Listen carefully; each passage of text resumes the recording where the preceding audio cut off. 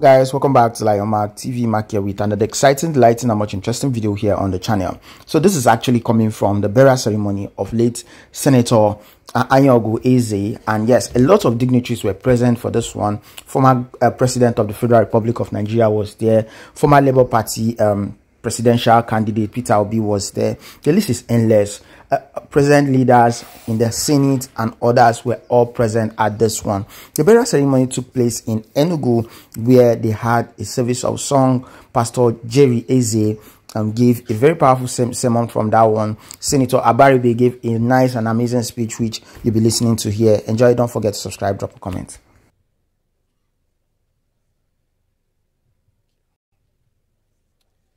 Good evening, everyone.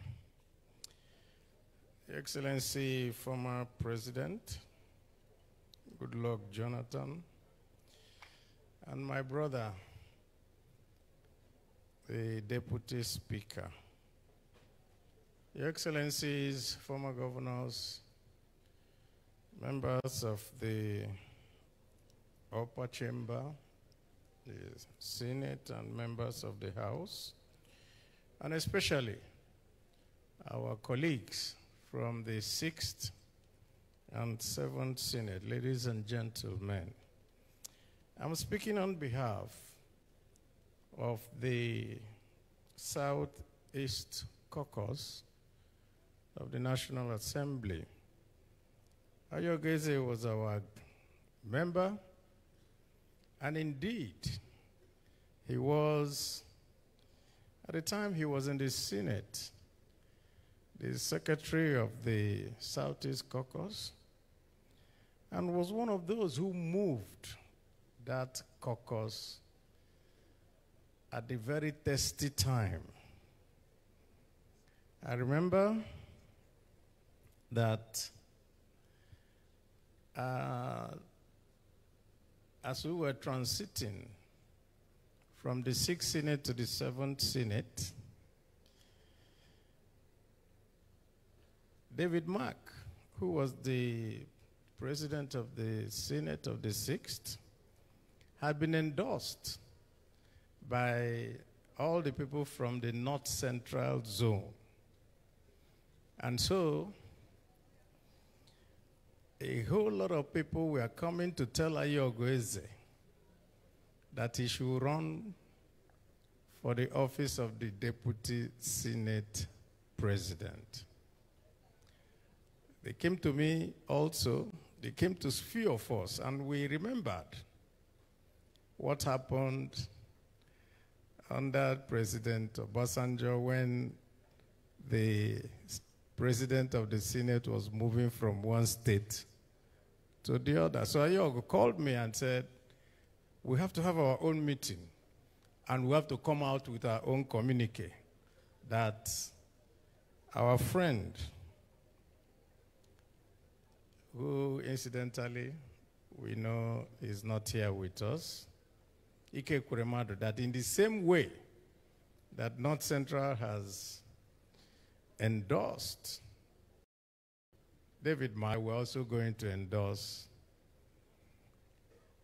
our friend DK Ekweremadu. And that doused everything about us in the Southeast always being seen as stabbing each other in the back. Ayogu was such a man who, at all times, he will walk with you, and when he says that he's with you, he's always with you. I took over from him as the spokesman of the Senate in the seventh. He was in the sixth. And I'm not so sure that the vibrancy that you were seeing at that time, that you are seeing it again at this time. A short while ago, we were all with him, just like um, Chuka Utazi said in the daughter's wedding, and thereafter he fell sick. I went to see him in the hospital, and I shed tears because he couldn't talk. He was just looking at me, and I was looking at him. I held his hand, and it was like, so this is how man will eventually end up. So, Pastor Jerry, I thank you for your wonderful exhortation today. I've heard about you so much. And uh, all I need to say in closing is that we, the Igbo, we have a way of venerating death. And so in Igbo land, you will see so many names that concern death to show you how the Igbo look at death. And one of the names that they give to Igbos is on Ebuaha. In other words, death will never remove the name of a great man. Ayogu is a great man, and this death will not remove his name. I want to ask the family continue to take heart. We will continue to be with you always, and we pray to God that as He's giving you comfort, Let him also comfort the rest of us who are here because of Ayogu Eze. May God continue to accept his soul into his bosom. In Jesus' name.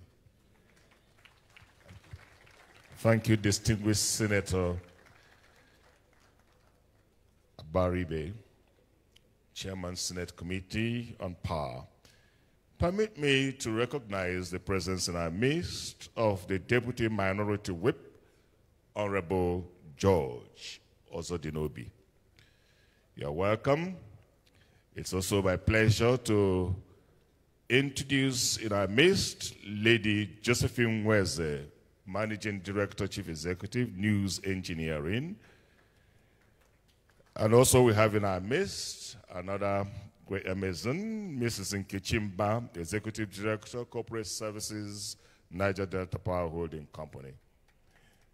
And also in our midst is the Dean Postgraduate School, Baze University, Professor Biodun Adeni, who was a colleague of uh, the late distinguished Senator Ayogu. Please put your hands together for these ones. Just for a little interlude, may I invite to minister to us Minister Chinwendu Odi and her team. If you're ready, if not, I would. Um,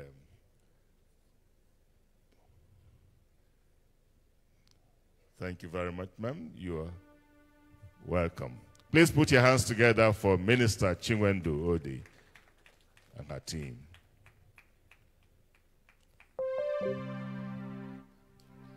Praise the Lord. Hallelujah.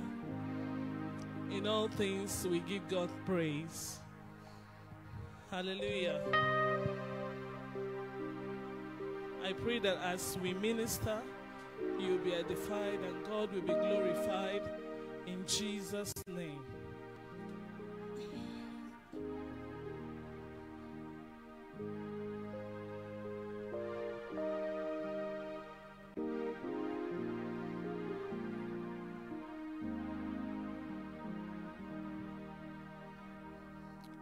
Fading away like the stars of the morning, losing their light in the glorious sun. Thus would we pass from the earth endless toiling,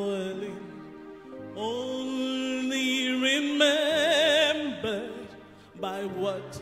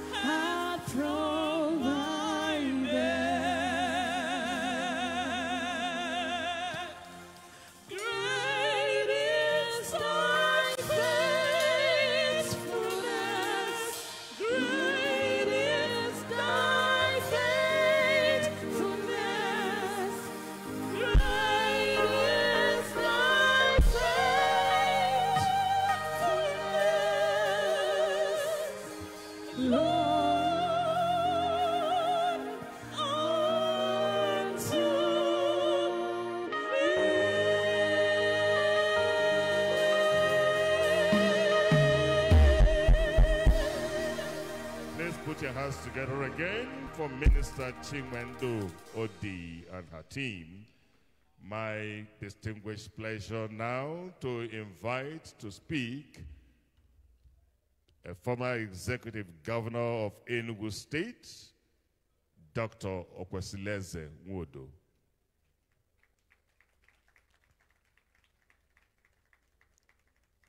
As it comes, it's my, also my pleasure to indicate that we have in our midst a topmost uh, public servant, retired public servant, Ambassador Godknows Igali. Please put your hands together for him.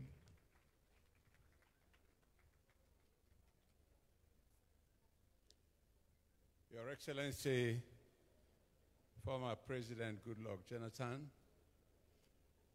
the Deputy Speaker of the House of Representatives, His Excellency Right Honorable Benjamin Kalu,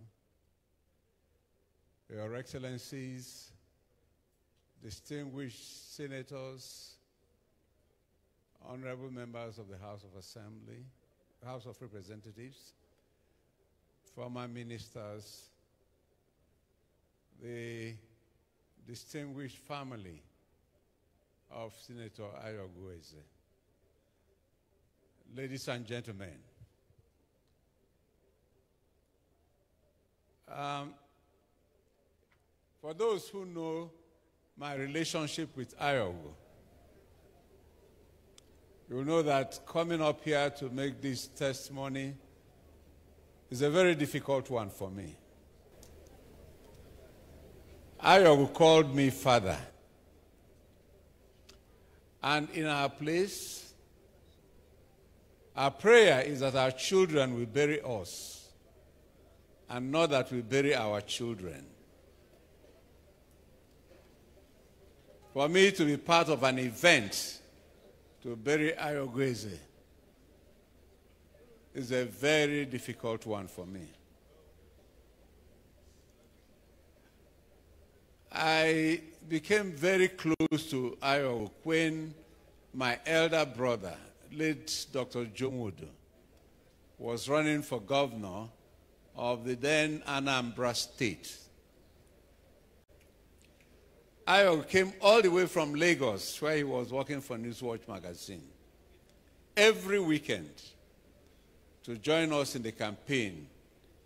My brother was then running for governor of Anambra State. Somewhere along the line, Enugu State was created out of Anambra. And after my brother had won the primary, he was disqualified with his, close, with his closest contender, Reverend Hyde Onuaguluchi. And that's how I stepped into the shoe of my brother and was subsequently elected the first executive governor of Enugu State. Now, one of the first appointments I made as governor was to appoint Ayogu as my special assistant. And while he worked with me, I became very close to his family. If Ayogu had any issue with his father, his father would come to my house and summon Ayogu and we iron it out there. The same with his mother. So I was very much involved in his personal life as he was involved in my government. Now, I can tell you, Senator Ayoge is, is an extremely brilliant man. Very brilliant. Ayog was the last person I saw before I went to bed as governor. He was the first person I saw when I got up. Because I had to share my last thoughts with him. And in the morning, because at that time, not now that everybody can type and uh, do sorts of things on the internet. I was one of the few people who could operate a computer at that time. In the morning, my speech was typed and printed. My program for the day was typed and printed. And, you know, when you have a staff who does not stop at your instruction, but continues beyond your instruction to your amazement, that was Ayog. He became so close that it was difficult for me to operate without Ayog. At some point, I made a circular saying that my commissioners and my advisors should clear with Ayog. And if he has not solved their problem, he will recommend you to see me. Now, some of these commissioners were, in fact, most of them were older than I. I was very young at that time. And some of them had been commissioners before, like Cletus Opata. So they rose up in arms that why should they go to this young man to uh, look at what they were doing in their ministry and uh, say whether they should see the governor. Anyway, we struck a truce. But that is how much, how much work he took off my table. And uh, if he was not that intelligent and committed to what we were doing, I don't think I would have given him such responsibility. Because he joined us in the campaign. He knew what we wanted to achieve in government. He shared the vision, and he was driving it as much as I could drive it. His loyalty was Catholic. You knew where you were with Ayogu at any time. So I was not surprised at all that future governments in Enugu found him as useful as I did. And he rose from commissioner in one ministry to another ministry until he came up to Abuja as a senator. You have heard the testimonies of the senators who work with him. You know, Ebedike is, is, is a phenomenon. If he enters a room, his presence must be recognized. You either recognize him for his height, you either recognize him for his charisma, or you recognize him for his eloquence. But he was captivating. And because he had the gift of the gab and he was intelligent, he will arrest any audience. Because he will talk sense and he had the language. So, what we are hearing tonight and what we will read in many tributes when you get the biography and the, the, the tributes uh, that have been written there, you will come to see that we are here tonight to eulogize a man who deserves every word that anybody comes up here to say about him. He died in active service. You heard the chairman of the raw material, I mean, uh, of the Revenue Allocation and Fiscal Commission. So I will serve our state diligently. He served the country diligently. He died in active service. He paid his dues. And I want this to be a consolation to the family. I visited with him a number of times in the hospital. I held his hand and we prayed that God will heal him soon. But at the end, God knows best. Because it's not how long we live, but it's how well we live. Ayog is being celebrated because of what he did for God and humanity. Nobody is just singing his praise for the sake of singing his praise. So the family, you should be consoled. Your father was a great man. He came, he saw, he conquered, And God took him when God wanted to take him because God gave him to us in the first place. So I want to thank each and every one of you, especially our former president. I know how many times we came to harass you when we wanted Ayog to be our governor and all of that. Um, and your normal patience and uh, advice. So I want to thank each and every one of you who has come here to honor my son. And I believe that my prayer for each one here today is that when you find yourself in this situation, people will come and honor you the way you have come to honor Ayogu Eze tonight. Thank you so much, and God bless each and every one of you. Your Excellency, Dr. Okwesilieze Nwodo, the one who said the crown fits. He, he did mention that of how intelligent, uh, distinguished, bereaved uh, demise senator was. Uh, he didn't say that this intelligence is also attributable to his profession, the journalism profession. He was there as a senior editor of Newswatch before he called him to become his special assistant. And uh, so permit me to now say that he rests actually. God healed him because he now rests.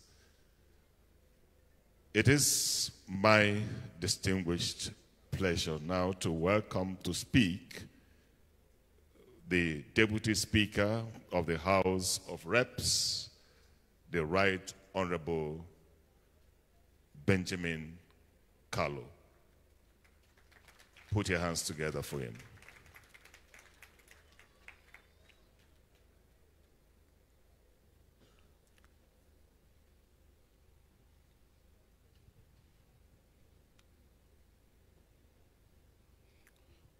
Your Excellency, the former President of the Federal Republic of Nigeria, our very own President Goodluck Ebele Jonathan, a man in whom we are well pleased. It's good to see you again your humility and your patience. My pastor, I celebrate you because of what you represent. Today, you were able to remind us that there is wisdom in the house of mourning. If there's anything to leave here with today, is that appraisal. Beyond the fame, the wealth. Beyond all these big networks that we have, a day comes when they will matter less. It's good to have you here today the family of the great man we are celebrating today. Please permit me to stand on the existing protocol. I know the list is much, and the great men that I re respect a lot are all seated here. I will approach my tribute from a different perspective. And I will start that tribute by celebrating those who are alive. One of them is the man that just spoke before I was called up. Okwesilieze Nwodo. I want to celebrate you because in a time like this when many find it difficult to raise others, to mentor others, especially in Igbo land where we come from. because they are afraid they will be bigger than them. You stood by the man you called your son from his birth in politics till he achieved the greatest height. And you are here standing today testifying that he was a man of integrity. Only few men like you are still alive. I will pray that God will preserve you and men like you.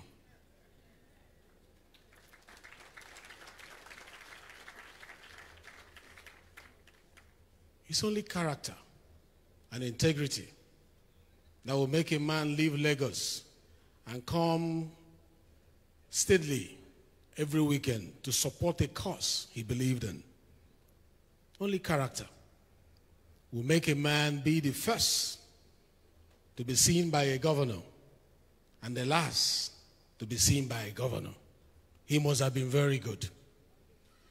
Only character define that relationship, not the wealth in his pocket, not just the wisdom that you describe, but what you chose that held you close to him was his character. He never betrayed you. He stood by you. To the extent that after serving you, you were longing for him to become the governor you were.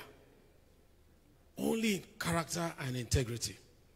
And that is what is missing these days among politicians. No more integrity. It's all about self. No more character. It's all about wealth. The house of mourning is the house of wisdom. If nothing matters to you, let it be that the lessons that you take from here today will help you be better than the man that we are celebrating. Children of this great man, man, be consoled. Your father is being defined well. As a man of character, as a man of integrity. May that inspire you to be greater than him. If nothing inspires you, let the wardens of this great man, they are no mean men, they have come, they have conquered, they are now watching the shining light of their trophies. And if they could stand here and say, people like Engineer Abaribe, my senior brother, senator, who says it's the way it is. If he stays here and say your father was a man of integrity, believe me, he was a man of integrity. Because if he wasn't, Engineer Abaribe would not identify with him. Because himself stands for what is right and nothing but what is right. I did not relate so much with him personally when he was alive, but I monitored his progress. And he inspired me. And I became somehow like him. I'll tell you how. When he spoke with eloquence, when he became a chairman of a committee as a first timer, I knew it was possible to be done. When he became the spokesperson of the House of the Senate, I told myself that that was doable. And that was why when I got to the House of Representatives as a first timer, I became like Ayogu Eze, the spokesperson of the House of Representatives.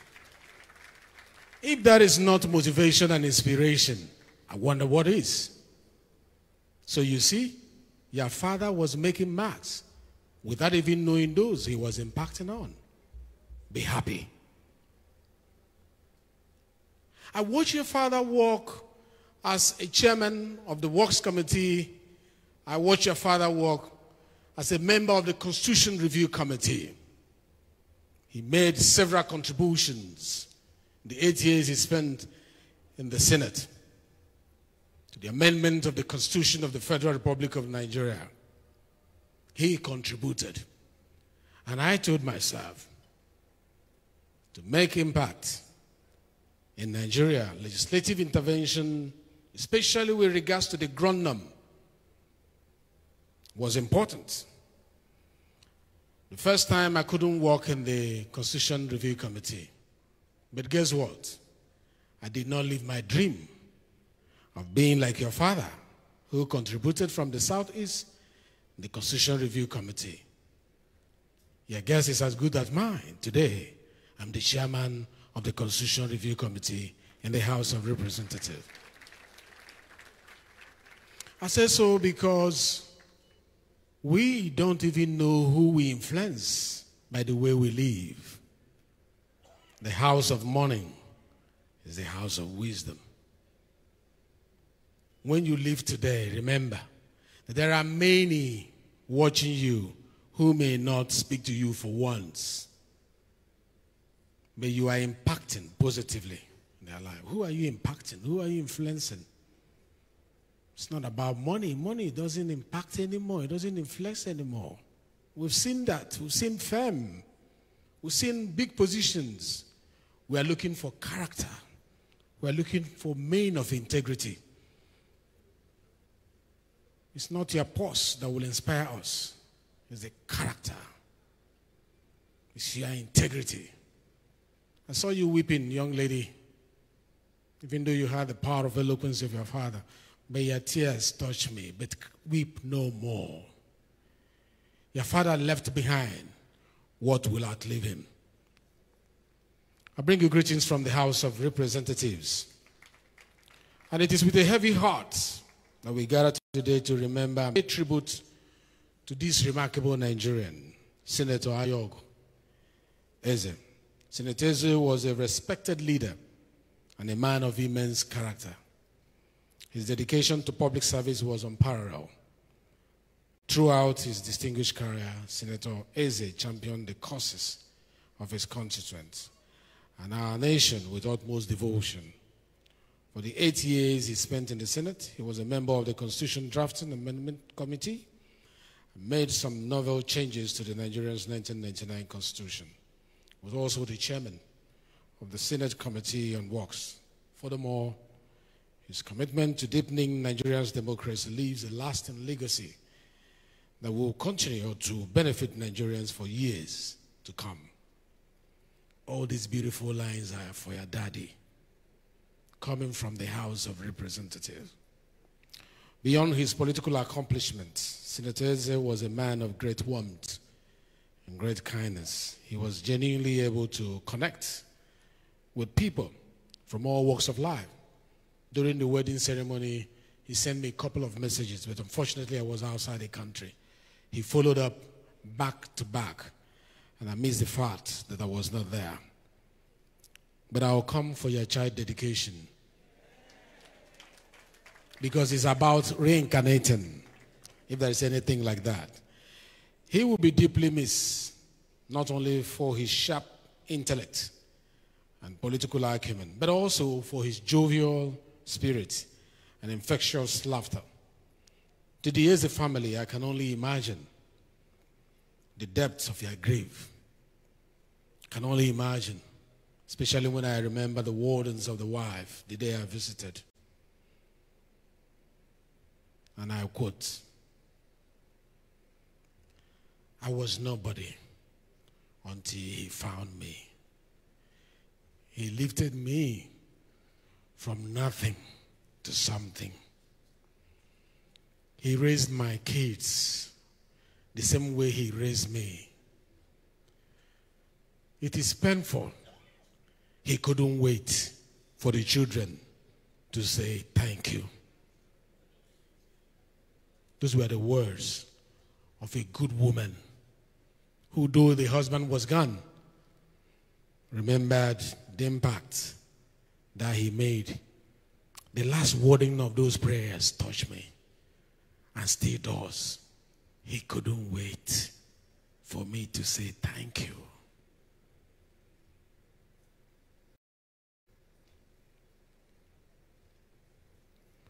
Please know that Senator person leaves a void, not only in your heart, not only in Enugu, but the entire Southeast, entire Nigeria, and in the hearts of some of us who love you and who loved him. Thank you and God bless you. Thank you, Your Excellency, the Deputy Speaker, Federal House of Representatives, Right Honorable Benjamin Kalu.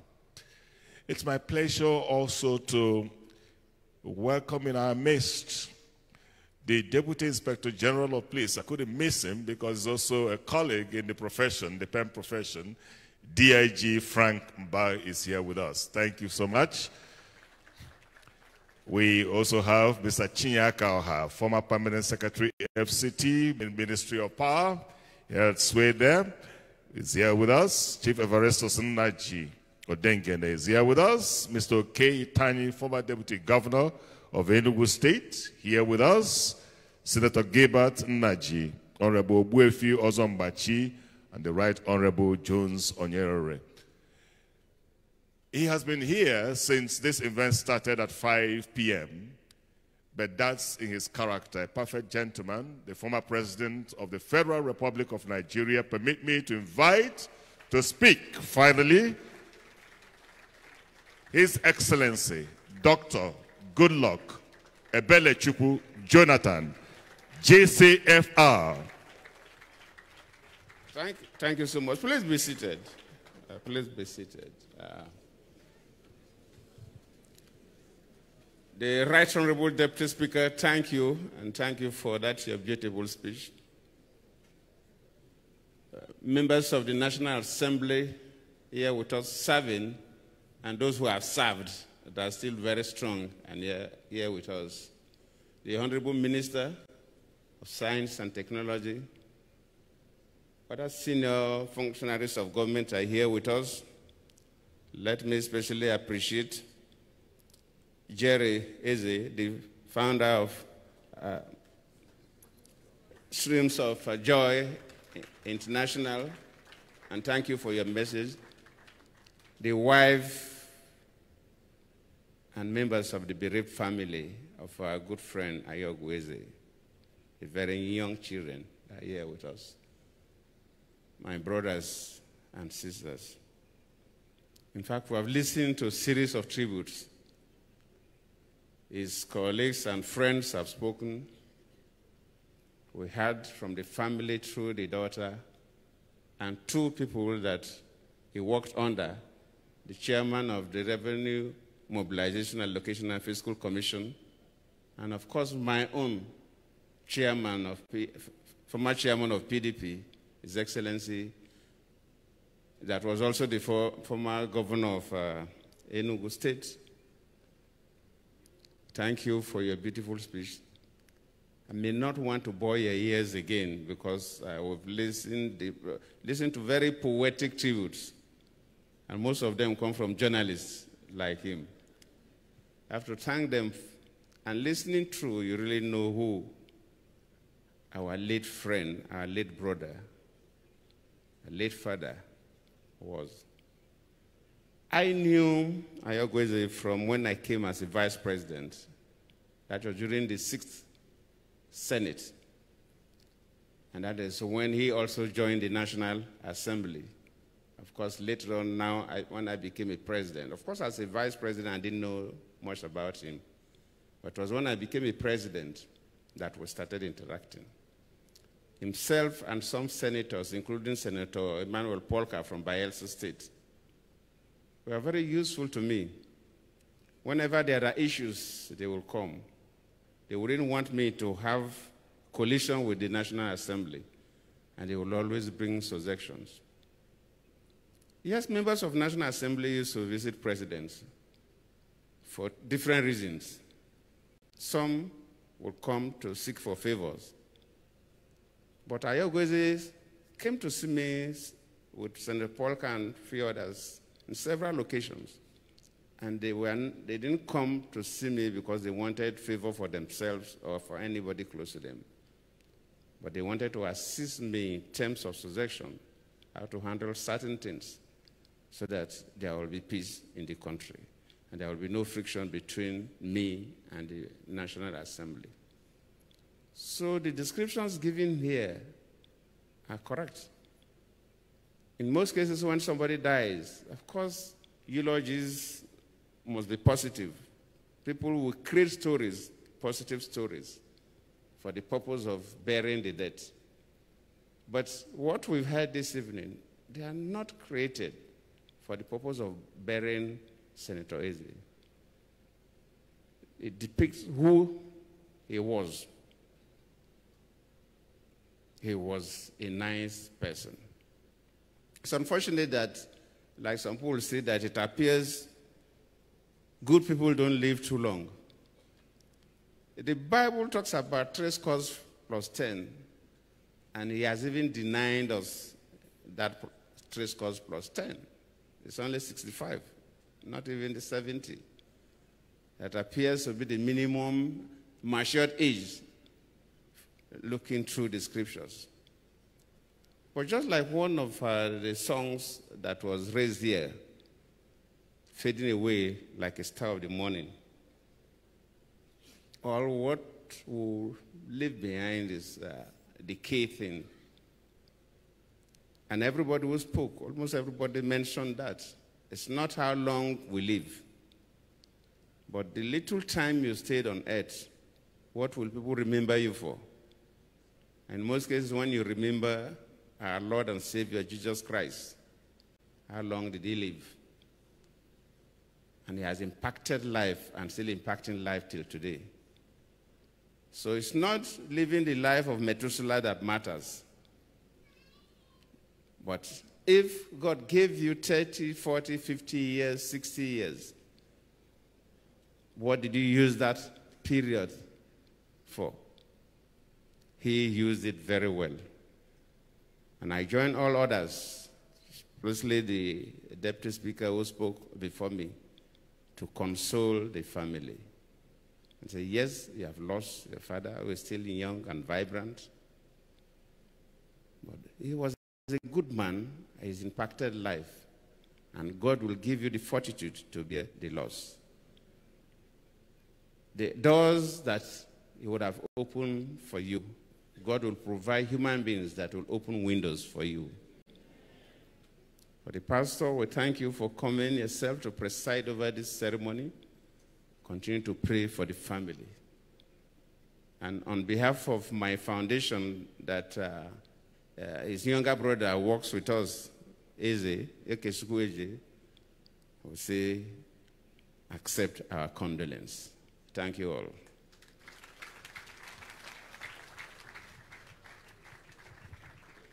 Thank you, Your Excellency. You can do better.